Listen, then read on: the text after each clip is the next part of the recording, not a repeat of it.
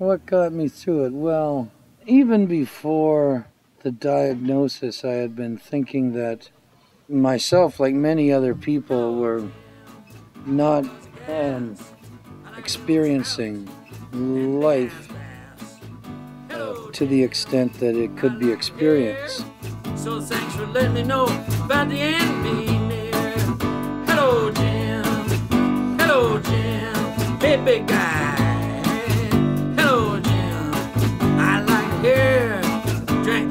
Whiskey, but just a right around there. Hello, hello, Jim. Man, it was a gas. Like little, little trouts.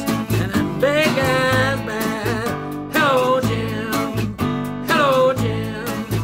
Hello, Jim. Hello. Hello, hello. Hello, hello. Hello, Jim.